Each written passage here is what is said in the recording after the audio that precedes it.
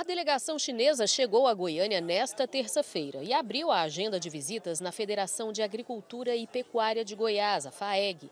O embaixador chinês Chu Qingchao foi recebido pelo vice-governador Daniel Vilela, secretários de Estado da Agricultura e da Indústria e Comércio, além de representantes do sistema FAEG-Senar.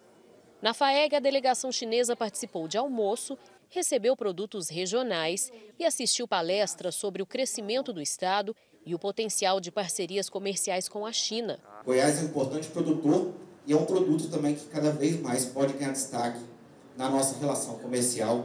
Em 2022, a China respondeu por 53% do faturamento de Goiás com exportações de produtos do agro, o equivalente a 6,2 bilhões de dólares. Os principais itens comercializados com o gigante asiático foram soja, carnes, fibras e produtos têxteis, cereais, farinhas, couros e peles.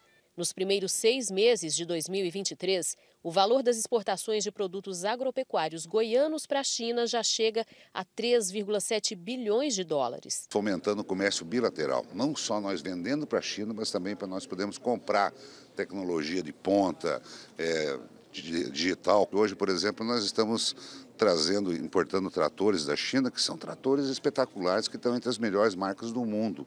E é um preço bem competitivo, bem acessível. Então é isso que a gente quer. É um momento muito especial para Goiás que a gente é, entende que poderá potencializar essa que já é a principal parceria comercial do nosso estado e é, ressaltando aqui também a, a, a simpatia, a presteza e a gentileza que o embaixador tem demonstrado com o nosso estado de Goiás. O embaixador da China destacou a posição estratégica de Goiás como parceiro comercial e a importância dessa aproximação para futuros projetos entre o Estado e a China. Depois da visita do presidente Lula à China, as nossas relações entre os dois países entram numa fase de desenvolvimento e o Goiás sempre desempenha um papel muito importante nessas cooperações. Na sede da Federação das Indústrias do Estado de Goiás, a FIEG, o embaixador participou de um seminário de oportunidades onde foram discutidas possibilidades de negócios no setor agroindustrial entre a China e o Estado.